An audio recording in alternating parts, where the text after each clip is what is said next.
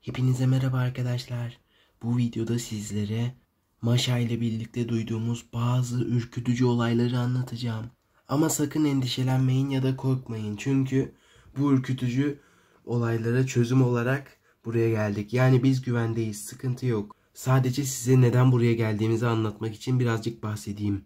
Son zamanlarda etrafta etrafta başıboş kuduz köpekler ve vahşi kurtlar dolaştığına dair söylentiler dolaşıyor. Biz de Maşa ile birlikte köpekten ve kurttan çok korktuğumuz için böyle bir çözüm bulduk. Uyurken falan gelip bizi ısırmasınlar diye bakın. Yatağımızı havuzun içine taşıdık. Evimizi daha doğrusu. Artık Maşa ile birlikte vahşi kurtlardan ve kuduz köpeklerden kurtulabilmek için bu görmüş olduğunuz yatakta yaşayacağız. Bu evde yaşayacağız. Havuzun içindeki ev. Evet arkadaşlar ve ayrıca bir güvenlik önlemi daha aldık. Bakın şimdi beni takip edin. Gördüğünüz bu gözlem kulelerinde koca ayılar bekleyip nöbet tutacaklar ve bizi koruyacaklar. Hatta sizlerle birlikte hemen yerleştirelim.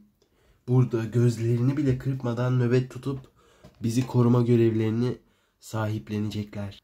Biz de o sırada burada havuzun içindeki yatağımızda huzur ve güvenle bir şekilde uyuyacağız. İstersek burada canımız sıkıldığı zaman eğlenmek için buraya bir salıncak da getirdik. Böyle sallanabiliriz. Karnımız acıkırsa zaten bu su geçirmez kabın içine bir kavanoz dolusu şeker getirdik. Karnımız acıktığı zaman hiç yataktan bile inmeden buradan uzanıp şekerlerimizi alabiliriz.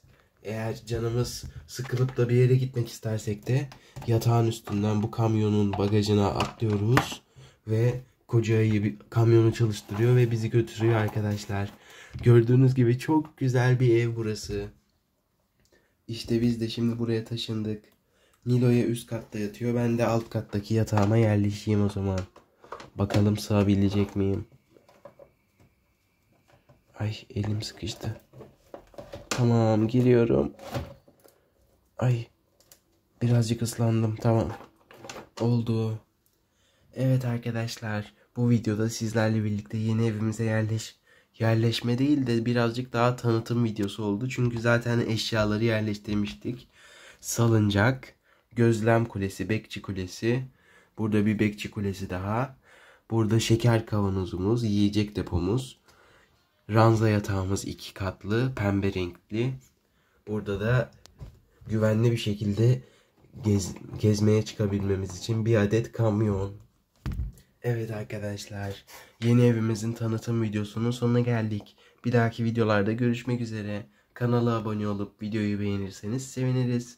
Bir dahaki videolarda görüşmek üzere. Hoşçakalın.